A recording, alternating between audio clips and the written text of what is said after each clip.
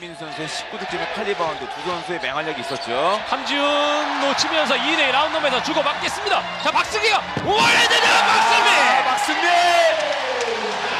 자, 지금은 헨 선수에게 엘리브를 주지 않을까라는 생각을 했었는데 본인이 네. 그냥 속 쳐서 올라가죠.